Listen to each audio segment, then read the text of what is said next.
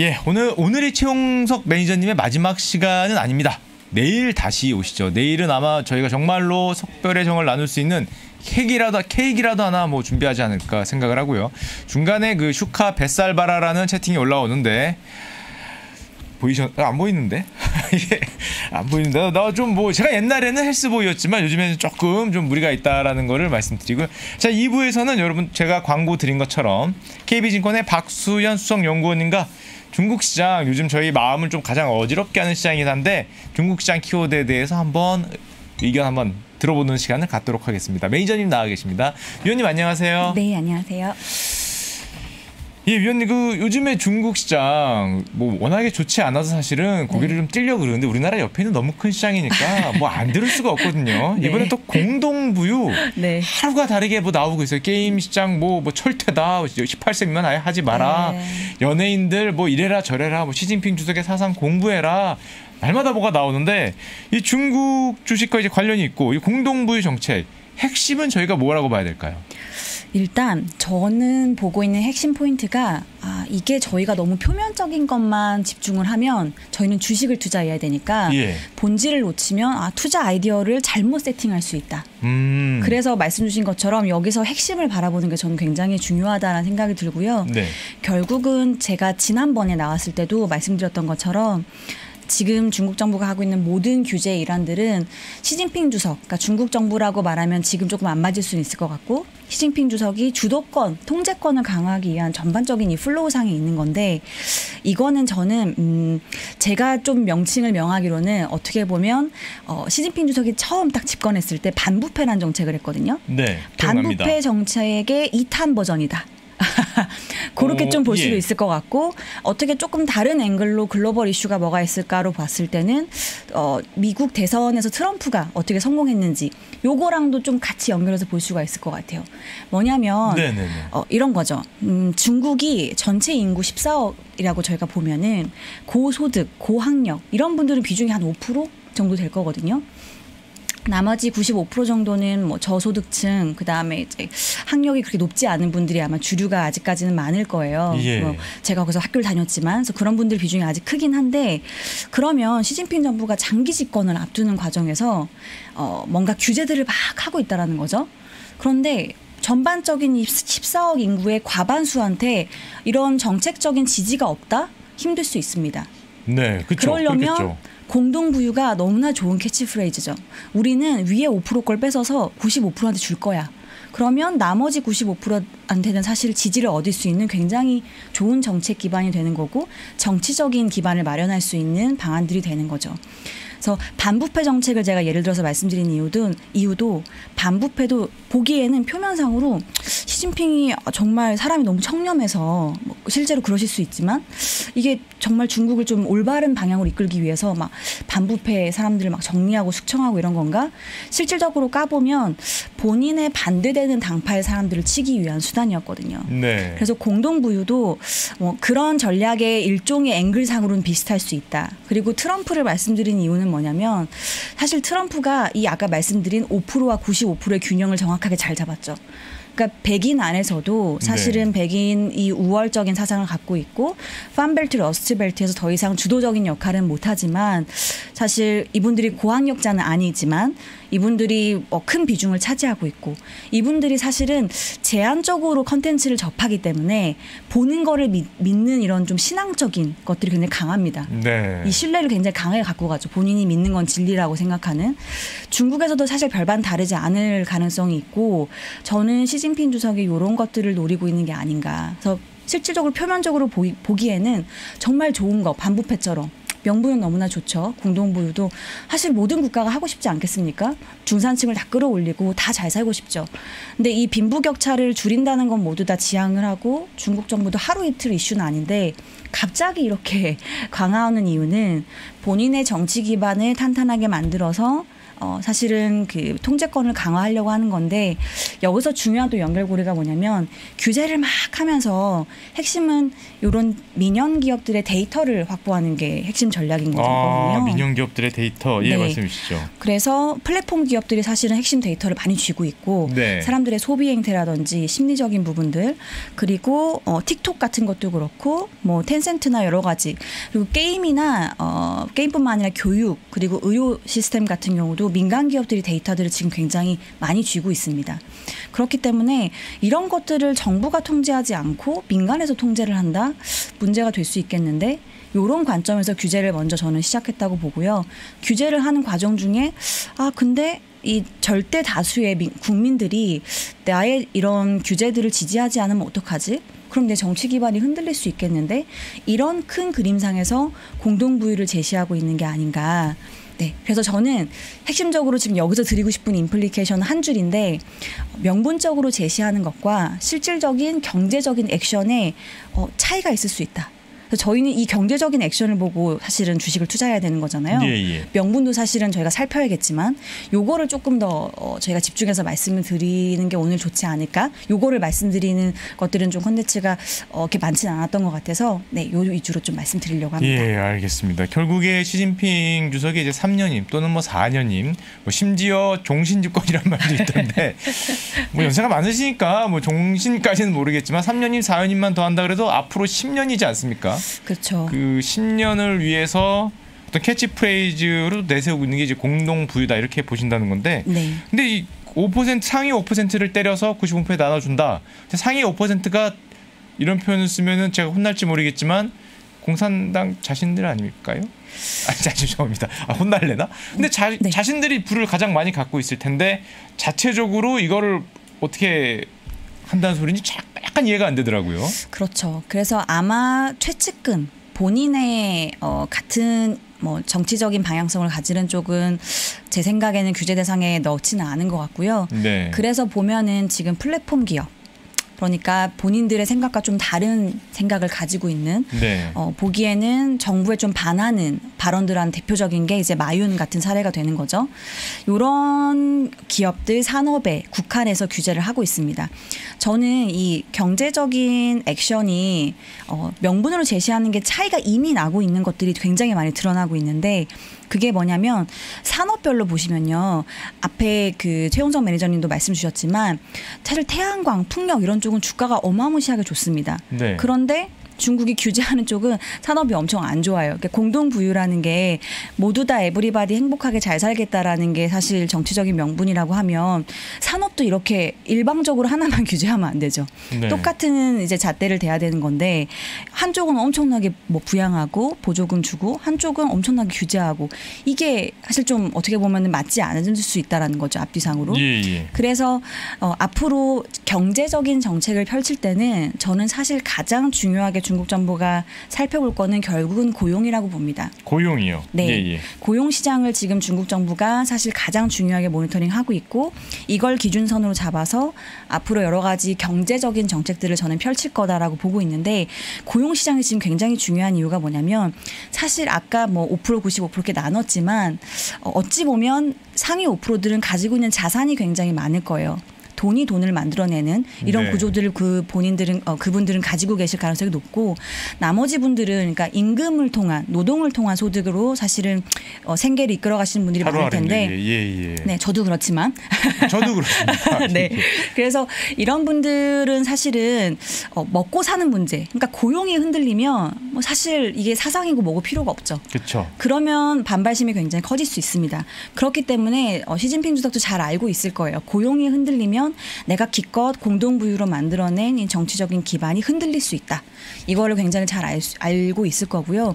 고용이 지금 제가 불안하다 말씀드리는 이유가 중국도 우리나라처럼 사실 청년 실업 문제가 좀 어, 뭐랄까 이렇게 건강하진 않습니다. 좀 문제가 있긴 있어요. 네. 어떻게 저희가 살펴볼 수 있냐면은 최근에 중국 7월 달에 나온 경제 지표가 쇼크였어요. 굉장히 안 좋았습니다. 산업 생산, 뭐 고정 투자 전반적으로 굉장히 안 좋았거든요. 소매 판매도 그렇고 컨센을 크게 하회했어요. 그런데 유일하게 고용만 좀 괜찮아 보였어요. 실업률이 6월 달이 직전 월이 5%였고 7월 달이 5.1%였거든요.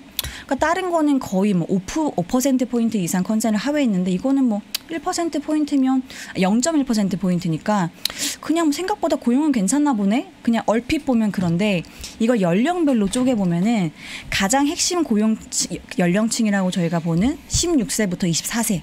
그러니까 네. 이게 청년층들의 실업률이 16.2%까지 뛰었습니다. 어, 중국이요. 네. 예. 어마어마하게 뛰었고 근데 계절적으로 7월이 중국이 요 청년층은 실업률이 좀 많이 튀기는 해요. 왜냐하면 중국은 미국처럼 9월 학기예요. 네. 7월 달에 대졸자가 대거 고용 시장에 유입이 됩니다. 그래서 계절적으로 7월 달에 좀 요 연령층은 튀긴 하는데 제가 높은 레벨이다가 말- 레벨이라고 말씀드리는 근거는 직전 연도 코로나 한창 영향을 받을 때 2020년 7월이 요, 요 청년층의 청년층의 실업률이 16.8%였어요. 네. 그러니까 별반 차이가 없다라는 거죠. 코로나 상황이라는 거죠. 젊은 층들은 중국도. 네, 쉽지 않은 상황인 거죠. 근데 이들에서의 사실 이 허리 역할을 하는 이쪽이 사실 역할이 어, 허리라기보단 조금 더 밑에일 수는 있겠지만 이들이 사실 중요한 역할을 앞으로 해줘야 되는 건데 어, 불만이 좀 커질 수 있는 상황이겠다라는 생각이 들고 또 두 번째로는 그 중국 정부가 지금 규제를 가하고 있는 어, 산업들 있잖아요. 예, 예. 그러니까 뭐 부동산, 게임, 엔터, 뭐 교육 여러 가지 이 산업들 각 조각 조각으로 보면 비중이 뭐 굉장히 절대적이진 않습니다. 가장 큰 비중이 제조업이 22% 가장 크기는 해요. 뭐 제조업은 지금 정부가 육성을 하고 있는 기조이긴 하지만 근데 이것들을 다 합치면 규제 산업을 전체 고용 시장에서 차지하는 비중이 30%를 넘어갑니다. 네. 그러니까 이렇게 큰 비중을 차지하는 산업들을 무분별하게 계속 규제할 수 있을 것인가라는 생각이 저는 들고요. 마지막으로 플랫폼 기업에 대해서 사실은 강자, 가장 좀 의문이 많으실 것 같아요. 언제까지 규제할 거고 이거 도대체 저점이 언제, 언제냐 반등이 언제 나오냐 이거는 사실 정확한 타이밍을 저희가 알 수는 없지만 이 규제의 강도가 저는 사실 어, 장기적으로 유지되기는 굉장히 가능성이 낮다. 저는 개인적으로 정점을 그러니까 규제의 정점이 3분기에 형성이 되고 4분기 4분기부터는 체감적으로 좀 약화될 거라고 보는데 중국의 산업별 고용을 잘 이렇게 보면요. 지리적으로 굉장히 넓기 때문에 보통 저희가 중국의 어떤 1등주다 뭐 이렇게 보면 이런 기업이 그 지역에서 1등인데 저희가 전국구로 봤을 때 비중이 크니까 1등 기업이라고 분류하는 경우가 많습니다. 그러니까 전국 단위로 한 사업 한 기업체 하나가 고용을 일으키는 게 많지가 않아요. 네. 그런데 이게 플랫폼이 하고 있다는 거죠. 플랫폼은 사실 전국구 비즈니스고 고용을 꽤 많이 일으키고 있는 서비스 산업 안에서는 이쪽 비중이 사실 올라가고 있는 상황이고 그렇기 때문에 이 정도 규제로 계속 할 것인가 저는 사실 가능성은 좀 낮다라고 보고 있고 또 3분기를 정점으로 보는 근거 중에 하나는 플랫폼 기업을 규제하는 3대 법안이 있거든요. 네. 첫 번째 반독점법, 두 번째 개인정보보호법, 마지막이 데이터 안보법. 이 세 개의 시행령들이 아직 좀 어, 랜덤하게, 그러니까 제- 간헐적으로 나올 예정이에요. 그게 9월까지 나올 가능성이 있, 있어서 아직은 한 달 정도 관련되어 있는 불확실성을 조금 해소해야 되는 부분들이 있습니다. 그런데 이게 마무리가 되고 나면 사실 투자 심리가 어느 정도는 좀 진정이 될 수 있을 것 같고 어, 그런 관점에선 저는 사실 명분적으로 이야기하고 있는 것들은 굉장히 무서워 보이지만 실질적으로 경제 정책을 펼칠 때는 고용 지표를 보면서 살펴가면서 할 거기 때문에 규제의 강도가 전반적으로는 3분기에 정점을 형성하고 조금씩 안정화될 음. 가능성이 있다 이렇게 보고 있습니다. 아무래도 정책의 뭐 내세우는 명분은 좋지만 네. 결론적으로 청년층의 지지 아니면 95%의 지지를 받아야 되기 때문에 네. 이 지지를 받기 위해서는 고용을 많이 하는 기업들을 그냥 계속 일방적으로 규제는 할 수는 없고 겁, 겁을 좀 준 다음에 어느 순간에는 좀 풀어줘야 좀 고용도 되고 지지율도 올라가니까 그 내세우는 것과 실제 방향이 약간 다를 수 있다. 네, 맞습니다. 이렇게 보시는 거죠. 네, 네. 그러고 이 정점을 한 3분기로 보니까 4분기부터는 뭔가 좀 분위기 전환이나 좀 조금 유화적인 제스처가 나올 수도 있다.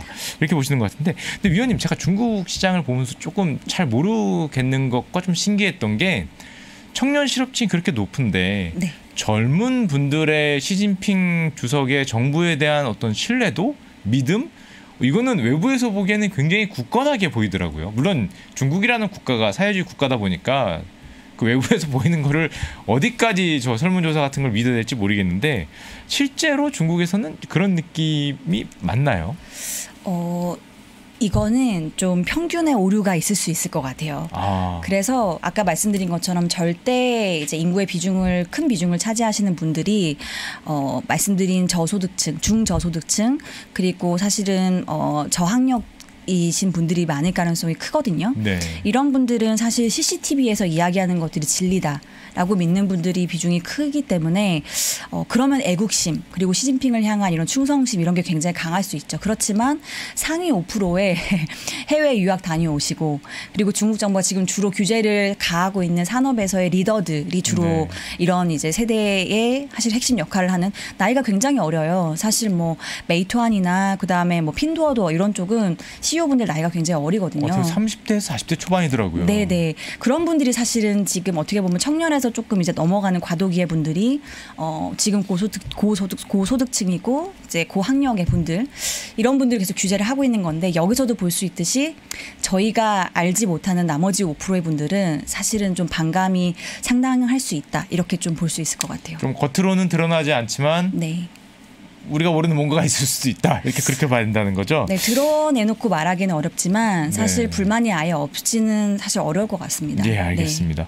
그러면은 이제 95%의 지지를 얻어야 되는 상황이면은 네. 지금 중국 경기가 이렇게 규제를 하다 보니까 증시도 내려가고 네. 어떤 지표도 좀 안 좋지 않습니까? 그렇죠. 전 세계 모든 나라 중에 가장 지표가 안 좋은 나라 같은데 경제 지표들이 그렇다면 이제 하반기에는 조금 통화 정책을 풀어준다든지 뭐 재정 정책을 조금 더 쓴다든지 해서 경기를 부양하는 쪽으로 이 선회할 가능성은 없을까요? 그래서 그 제가 사실 투자자분들을 계속 만나 뵈니까 질문을 주시는 것 중에 첫 번째가 아까 말씀드린 고- 동동부유를 자- 가장 많이 물어보시고 두 번째로는 오케이 그럼 뭐 데이터 확보하고 이런 건 알겠는데 그러면 안 그래도 코로나 기저효과가 이제 사라지니까 하반기 경기가 안 좋아지는데 지금 말씀드린 것처럼 규제까지 하니까 그럼 재정 지원 뭐 통화정책 지원 안 할 거야? 요거를 제일 많이 물어보시긴 하거든요. 예. 근데 저는 어, 할 거다라고 말씀을 드리고 할 거다. 싶어요. 네, 할 네. 거다. 지금은 해야 하고 할 수 있다.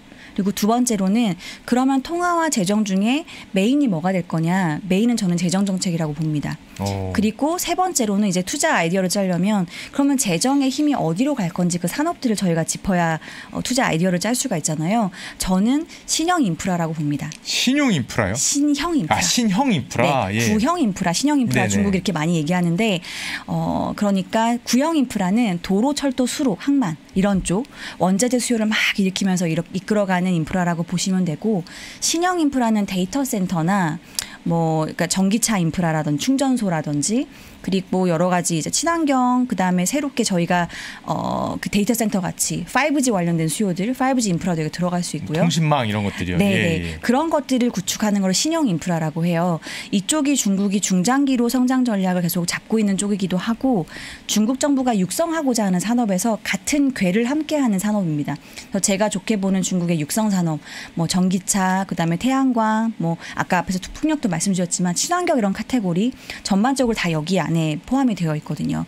이런 쪽이 저는 핵심이 될 거라고 보고 그리고 재정 같은 경우에는 사실 저는 중국 정부가 해야 하고 할 수 있다라고 말씀드렸잖아요. 네. 해야 하고는 아까 고용을 일단 첫 번째로 말씀을 근거를 들어서 드릴 수 있을 것 같고 두 번째로는 최근에 중국 지표가 굉장히 안 좋았다고 말씀드렸는데 전반적으로 안 좋았지만 특히나 소매 판매가 가장 안 좋았어요. 예, 예. 그러니까 중국이 막 내수 활성화한다 해서 한껏 소비 기대감들이 컸었는데 굉장히 안 좋았던 이유 중에 하나가 중국 소매 판매를 상품 소비, 소비재, 그다음에 서비스, 그러니까 특히 외식 비중이 큰데요. 이렇게 두 개를 나눠서 보면 외식이 이 꼬꾸라지는 속도가 굉장히 빨랐습니다. 네. 그러니까 아무래도 중국도 코로나 재확산 때문에 최근자로 기준으로는 코로나 확진자도 많이 줄었는데 7월까지만 해도 영향권에 한창 들어와 있는 시즌이었어요. 봉쇄 지역이 막 늘어나고 이거에 따른 영향들이 확실히 있었던 것 같습니다. 그래서 대면 경제에 해당하는 외식 같은 것들이 굉장히 안 좋았거든요. 그리고 이게 최근자로는 뭐 코로나 확진자가 줄었다고는 하지만 글로벌리 델타 변이에 따라서 간접적으로 도 중국이 어, 여기서 좀 부정적인 영향을 받을 수 있는 부분도 고려를 해야 되거든요. 네. 그래서 이런 부분에 충격이 있고 고용도 안 좋고 그러니까 사실은 해야 되는 게 맞고 할 수 있다라고 말씀드리는 이유는 중국이 올해를 기점으로 해서 정확하게 재정의 수입과 지출의 그 그로스가 역전됐습니다. 그 전까지만 해도 재정 지출이 어마어마하게 늘어나고 수입은 사실 계속 빠지고 있는 상황이었거든요. 예. 올해 기준으로 이렇게 역전이 됐어요. 재정 지출은 쭉 빠지고요. 요건 이제 YOY 크로스로 보는 건데 수입이 쭉 늘어나고 오, 있습니다. 신기하네요. 예. 네. 중국이 올해 들어서 정말 보수적으로 재정 정책을 펼쳤거든요. 네. 그래서 재정의 제자도 꺼내지 않았습니다. 거의 어, 굉장히 좀 재정을 아꼈고 특히나 어, 코로나 확산 매우 초기에는 어, 중국이 처음 코로나를 겪다 보니까 이제 불안한 거죠. 이게 여기서 끝날 것인가, 대응을 어떻게 해야 될 것인가. 그때는 백신도 없었고 그러다 보니까 일단은 일차적으로 그때는 통화 정책으로 경기를 방어했어요. 그래서 금리 내리고 지준율 내리고 했는데 지금은 백신도 있고 중국도 중국도 나름은 이거를 매니징하는 툴들이 이제 생겼기 때문에 이제는 재정을 쓰면서까지 뭔가 경기를 방어할 수 있는 여건이고 재정 여력도 있고요.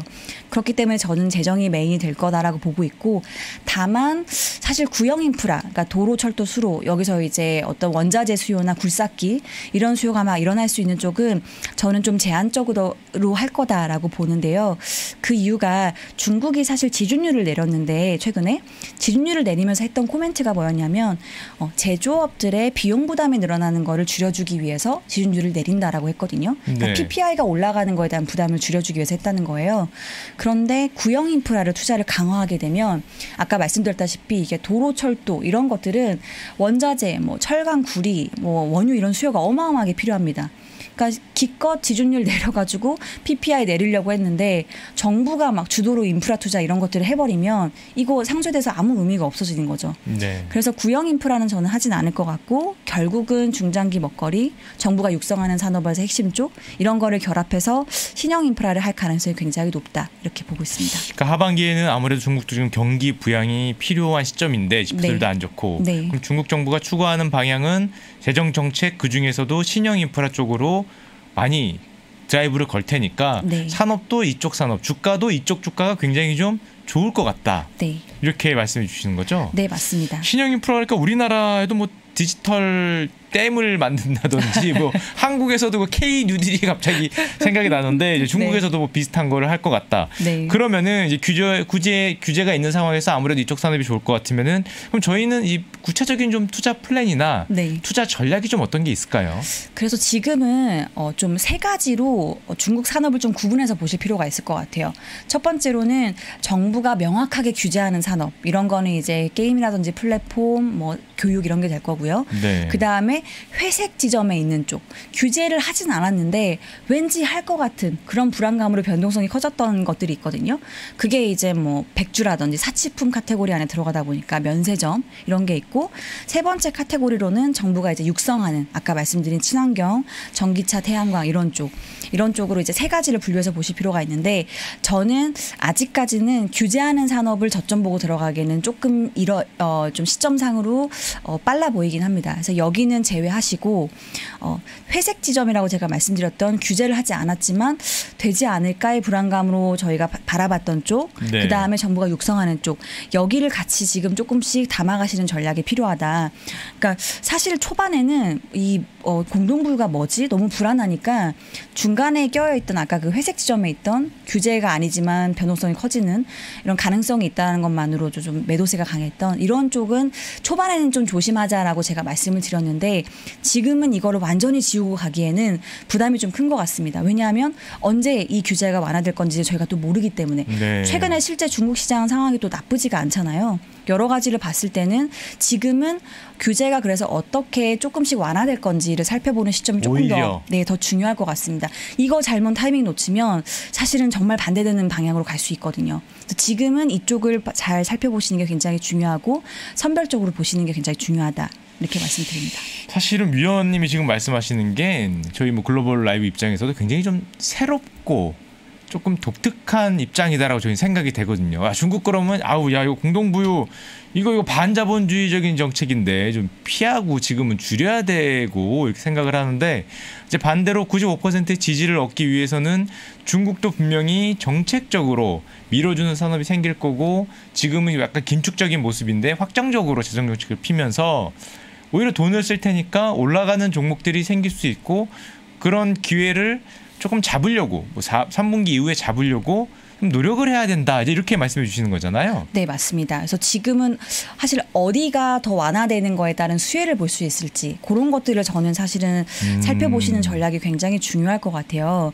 근데 요거 시점을 저희가 정확히 알기가 굉장히 어렵죠. 그렇죠. 언제나 시점이 좀 어렵죠. 예. 요거를 잡아서 가기는 사실은 뭐 하늘의 별 따기만큼 어려운 일이라 뭐 언제부터 요 이 땅 이제 달린다 이게 어렵기 때문에 저는 사실 단기랑 중장기로 좋게 보는 쪽은 좀 다르긴 합니다. 어, 예. 단기로는 아까 제가 말씀드렸던 그 회색 지점에 있는 쪽들 그러니까 규제를 하진 않았지만 어, 불안감으로 변동성이 커졌던 백주나 면세점 그러니까 특히나 소비 카테고리에 있는 내수 소비주 중국의 블루칩이라고 불리는 쪽인데요 이쪽을 단기로는 저는 반등이 가능하다라고 보고 있고 워낙 조정을 많이 받았어요 사실 네. 이들은 규제 대상도 아닌데 그래서 규제가 나올 가능성을 완전히 배제할 수는 없지만 저는 사실 여러 가지 정황상 제가 아까 말씀드린 고용이라든지 종합해 봤을 때는 추가로 규제가 나올 가능성은 낮고 그리고 제가 서두에 말씀드렸던 것처럼 정부가 원하는 건 결국 데이터거든요. 네. 데이터를 확보하기 위한 싸움에서 이 모든 것들이 나타나고 있는 건데 백주나 면세점은 데이터로 움직이는 산업이 아닙니다. 네. 데이터는 1도 상관이 없어요. 정부가 굳이 규제를 할 필요가 없고 어, 백주는 수정방을 빼고는 다 대부분이 국유 기업이에요. 그리고 국제 여행사 중국의 면세 시장에서 독점적인 지위를 가지고 있는 여기도 국유 기업이고요. 그러니까 사실 어찌 보면 공 동부유 관점에서도 이런 국유 기업을 규제하는 건 좀 맞지 않을 수 있죠. 여기는 국가의 자산 증대에 사실 기여하고 있는 기업들이고 각 지역별로 납세를 굉장히 많이 하고 있는 기업들이에요. 네. 저는 이들은 사실 규제할 가능성이 뭐 필요성이 낮기 때문에 크지 않다라고 보고 있고 단기로는 이쪽을 말씀드리고 중장기로는 아까 말씀드린 쪽 정부가 육성을 하면서 신형 인프라로 투자할 쪽 신형 인프라. 네 예, 같이 예. 이제 요 두 개의 수혜를 같이 누릴 수 있는 쪽 요게 이제 친환경 테마 같은 것들 뭐 태양광 뭐 전기차 이런 것들이 될 수가 있고요 근데 말씀드린 것처럼 이게 시점을 잡아서 단기는 요거 딱 장기는 이거 딱 이렇게 잡기가 어려우니까 저희가 좀 취하고 있는 전략이기도 한데 비율을 4대 6 정도로 가져가시는 걸로 말씀을 드립니다.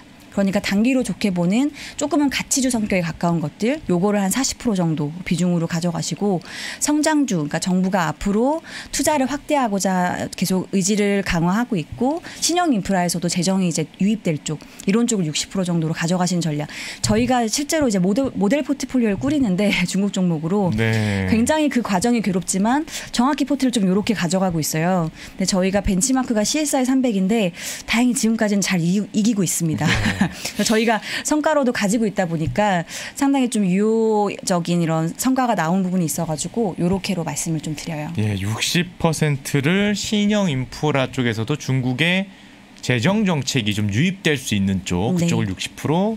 그다음에 회색지대에서 과도한 하락이 있어서 약간 가치주 성격이 있는 주식을 한 40%로 조금씩 사 나가는 시점을 좀 바라봐야 할 때다. 네. 이렇게 얘기했는데 그럼 위원님 지금 뭐 시간이 거의 다 되긴 했는데 마지막으로 네. 저희가 규제 말고도 네네. 또 중국이다 보니까 네. 또 다른 리스크 요소도 좀 생각을 해야 될 텐데 네. 어떤 게 있을까요? 두 가지 정도가 있을 것 같은데 간단하게 말씀드리면 첫 번째는 사실 중국 시장이 아까 말씀드렸던 것처럼 그 회색지대와 규제를 제외하고 육성하는 방향 이쪽으로 수급이 어마어마하게 집중이 됐습니다. 네. 그러니까 모두 다 같은 생각을 하는 거죠. 불안하니까 정부가 명확하게 짚어준 쪽만 투자하자. 예. 그래서 이쪽에 멀티플이 사실 굉장히 높게 지금 형성이 되어 있습니다. 네. 그래서 상반기 실적도 나왔지만 점점 이제 어, 유동성을 푸는 부분이 사실은 추가로 더 나올 가능성은 크지는 않고요.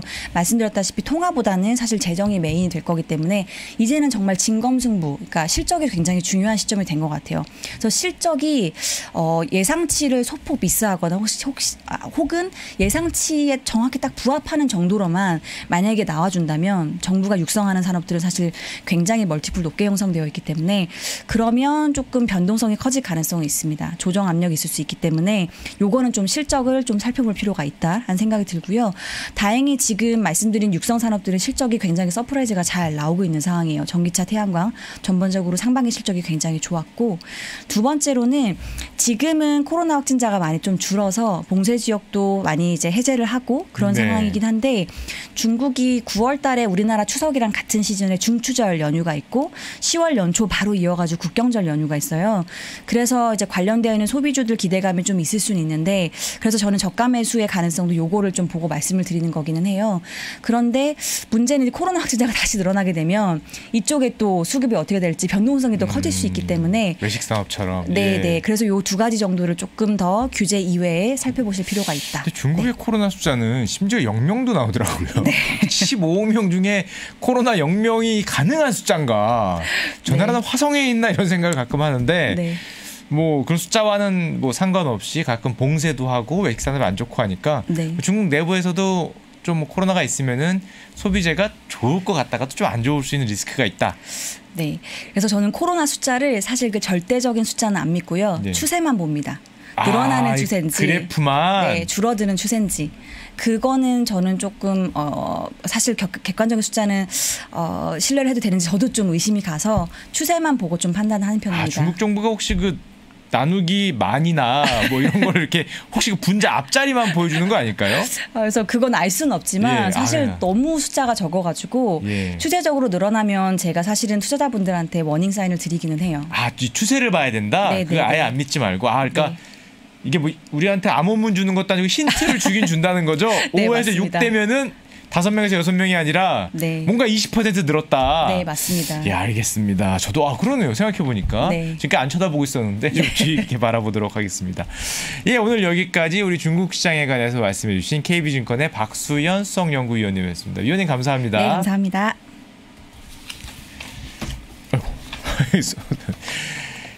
어, 오늘 중요한 광고판이 쓰러지네요. 예, 오늘 박수현 수석 연구원님과 저희 중국 시장에 대해서 새로운 시각을 들어봤는데요. 확실히 우리도 그런 생각이 들죠. 중국 정부가 어떻게 시진핑 정부의 이 3년임, 4년임을 위해서는 분명히 경기를 좀 활성화시킬 필요가 있으니까 혹시 재정 정책과 통화 정책을 확장적으로 쓰면서 돈을 풀 가능성이 있지 않을까 여기에 대한 기대감이 좀 있다라는 설명을 해주셨고요. 특히 그렇다면은 투자하는 방향에 대해서는 말씀해 주시기로는 약간 가치주 성향이 있는 회색지대에 있는 조금 많이 빠진 주식과 반대로 중국이 이제 재정 정책을 쓴다면은 우리나라도 뭐 디지털 댐, 뭐 미국도 지금 뭐 5천조의 인프라 투자 그런 걸 하듯이 중국도 할 가능성이 굉장히 높기 때문에 여기 수혜를 받을 수 있는 신형 인프라 투자 쪽, 재정 정책에 들어올 수 있는 쪽을 생각을 한다면은 조금 투자하는 길이 보이지 않을까라는 말씀해 주셨습니다. 특히 마지막에 중국의 코로나 숫자는 숫자보다 어떤 추세를 보는 게 조금 도움이 된다. 라는 또 다른 팁도 주시고 가셨네요. 예, 2부에서는 2부 내용은 여기까지였고요. 아마 참신했던 중국 투자에 대한 시각을 새롭게 볼 수 있는 시간이 아니었나 생각됩니다. 광고 보시고 여러분들이 기다리시는 장현재 미국 주식에 미치다 장우석 본부장님과 함께하겠습니다. 광고 보시고 오겠습니다. 무더운 여름 바캉스 대신 함께 공부해 보는 거 어떤가요?